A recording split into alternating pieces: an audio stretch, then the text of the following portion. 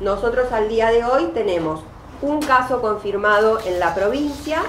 eh, y tres casos confirmados fuera de la provincia. El tapaboca es una, una herramienta más que va a colaborar en aquellas situaciones donde las personas que tengan que salir estrictamente del aislamiento social preventivo obligatorio que estamos cumpliendo eh, todos, que tenga que ir o trasladarse a un lugar donde no pueda garantizar el distanciamiento físico ideal de dos metros que se propone desde todas las organizaciones como eh, modo preventivo fundamental para evitar la transmisión de esta enfermedad insistir en que el barbijo quirúrgico y el N95 están destinados, están eh, solamente indicados para los equipos de salud, que son las personas que van a tener la mayor exposición porque son las que van a estar asistiendo a las personas enfermas de COVID en este caso.